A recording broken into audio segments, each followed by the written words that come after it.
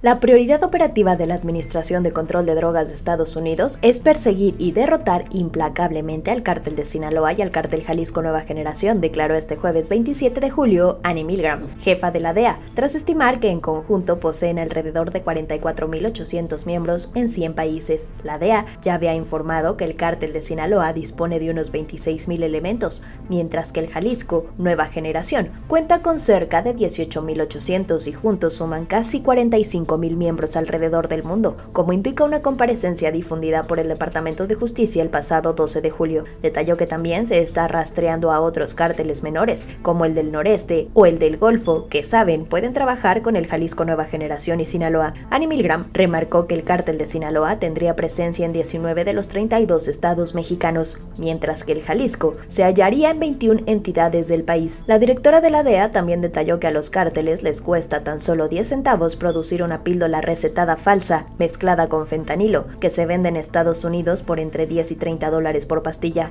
por lo que como resultado los cárteles ganaron miles de millones de dólares del tráfico de fentanilo a Estados Unidos. Adicionalmente, mencionó que está combatiendo la venta de fentanilo en redes sociales, puesto que los narcotraficantes están usando estas para reclutar asociados, encontrar clientes y vender fentanilo y otras drogas mortales.